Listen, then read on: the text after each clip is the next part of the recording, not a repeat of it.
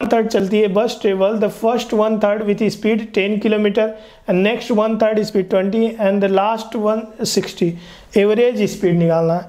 अब देखो ये आसान क्वेश्चन है यार एवरेज स्पीड कैसे निकालना है? एवरेज स्पीड अगर कोई डिस्टेंस है, समझना, कोई डिस्टेंस है तो ये डिस्टेंस है तो ये एस बाई थ्री फिर एस बाई थ्री फिर एस बाई थ्री अलग अलग जो है, वो एस बाई थ्री पूरा थ्री एस था तो ये टेन से चली टेन से चली, ट्वेंटी से चली, सिक्सटी से चली, टेन से चली, ट्वेंटी से चली, सिक्सटी से चली। टेन से चली, ट्वेंटी से चली, सिक्सटी से चली। तो average speed total displacement upon total time T one plus T two plus T three ठीक है? इसमें टाइम टी वन लगा होगा, इसमें टाइम टी टू लगा होगा, इसमें टाइम टी थ्री लगा होगा। ठीक है ये पॉइंट मैंने इंडिकेट कर दिए अब average speed total displacement upon total time total distance हो गया, ये वाला।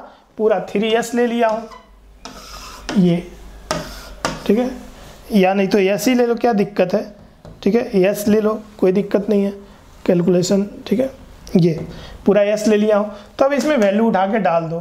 तो यह जाएगा एस और ये टाइम की वैल्यू डालो। Time is equal to distance upon speed distance कितना है? एस बाई थ्री और स्पीड टेन है प्लस एस बाई थ्री और स्पीड ट्वेंटी है प्लस एस बाई थ्री और स्पीड 60 है।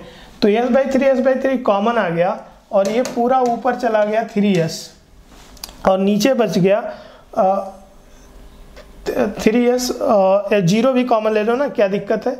ठीक है? यहाँ से देखो yes upon S S upon thirty common लिए। तो एस ऐसे कैंसिल हो गया और जो ऊपर चला गया, वो थर्टी चला गया।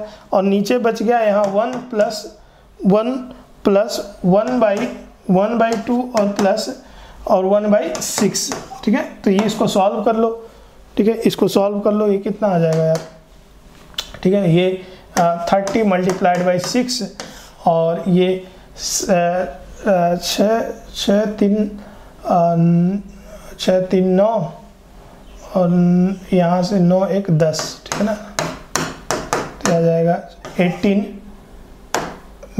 मीटर पर सेकेंड ठीक है? 18 metre per second average speed 18 metre per second that is